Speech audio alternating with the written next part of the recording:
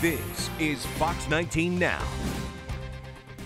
So developing right now an update on a former Hillcrest employee accused of a sex crime. Jessica Schmitz at the alert desk with some new details. We've been talking about the story all week. Yeah, and there's been updates almost continuously, Tricia. So today, the latest is that Francine Thomas is pleading not guilty to the charge that she's facing, that charge being unlawful sexual contact with a minor. Her bond has also been set now at $10,000. If she does get out of jail, she'll have to wear an ankle monitor, and she's been ordered to stay away from the victim.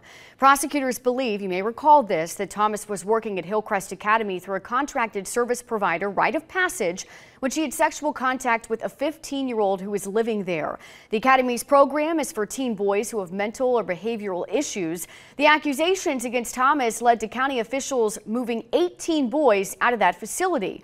We're told the county is terminating its contract with Rite of Passage. As for Thomas, she's set to be back in court on May 31st. At the alert desk, Jessica Schmidt, Fox 19 Now. All right, Jessica, thank you. Or a little bit earlier.